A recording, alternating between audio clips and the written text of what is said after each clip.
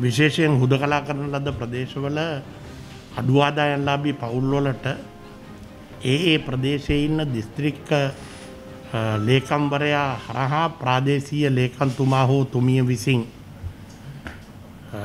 ගම්මට්ටමේ බිම්මට්ටමේ සිටින රාජ්‍ය නිලධාරීන් යොදා ගනිමින් රුපියල් පන්දහසක සහන මල්ලක් ලබා දෙනවා.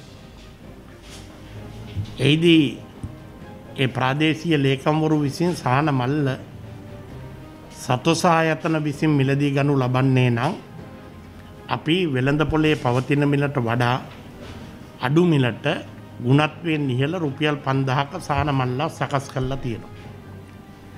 ද මෙතන තිබෙන්නේ සහන මල්ලේ අඩංගු බහන්ඩ අපි සහල් කිලෝ පහලවක් ලබා දෙනවා.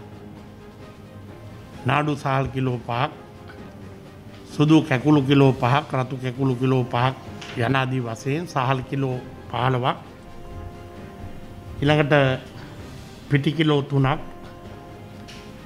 අර්තාපල් කිලෝ තුනක් ලොකුලූුණු කිලෝ තුනක්. ඉළඟට හාල් මැස්සං ග්‍රෑම් දෙසීයක් ලුණු පැකැට්ටුවක් කිලෝවක්. නූඩල්ස් කිලෝ එකක් පරිප්පු කිලෝ දෙකක්. එවගේම මාරි බිස්කට්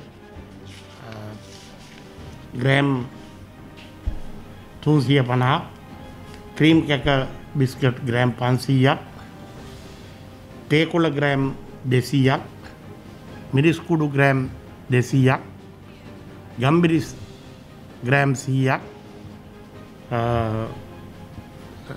එස්ල්ල සහතික ලාංජන සහිත මුහුණු ආවරණ දහයක්. රජයේ කාර්මික තාක්ෂණික ආයත්තනයේ විසබීජ නාසක දියර මිලිලීටර් සීයක් යනාදී වසයෙන් බාණ්ඩ වර්ග විස්සා කිලෝ ගත්තොත් කිලෝ තියකට ආසන්න ප්‍රමාණයක් තමයි රුපියල් පන්දෑමිලට ලබාදේ. අද උදේ කොළඹ දිස්ත්‍රික්ක ලේකන්තුමාගේ ප්‍රධානත්වයෙන් පැවතුුණ රැස්වීමේදී මේ බාණ්ඩ තොගය දිස්ත්‍රික්ක ලේකන්තුමෙක් විසින් වෙනත් ආයතනයකින් ලබා ගැනීම සඳහා මිලගණන් කැඳවල තිබුණ එහිදි රුපියල් හයදහසකට වඩා වැඩි මිලක් තමයි ඉදිරිපත් කල්ල තිබුණ. ඇත්ත වශයෙන්ම ගත්තොත් රුපියල් හයදහක් පමණ සුපිරි වෙලන් සැල්වෙල අලවි කරන්න බහන්න මල්ලක් තමයි සතෝස විසින් ලාභ පරමාර්ථය මුල් කර නොගෙන මේ ජනතාව පීඩාවට පත්වෙලා තියෙන අවස්ථාවේදී බෙද ඇරීම සඳහා ලබා දෙන්න. එහිදී සතොස ආයතනයත් ඉහළ කළමනාකාරීත්වයත් ඒවගේම අපේ සතොස ආයතනවල ඉන්න සේවක කාරකානීන් සියලු දෙනා අතිරේක වගකීමත් දරාගෙන තමයි මේ කාර්යය සඳහා කැපවෙන්. ඔබතුමල්ලට තේරණව ඇති. මොකද මේ බාණ්ඩ වර්ග විස්ස කිරන්න ඕනේ මනින්න ඕනේ අසුරන්න ඕනේ ඒ ඇසුරුම් සියල්ල එකට එකතු කරන්න ඕනේ ඒ විශාල ක්‍රියාවලිය. එනිසා අපි ඒ සඳහා සහය ලබාගෙන තියනවා සිවිල් ආරක්ෂක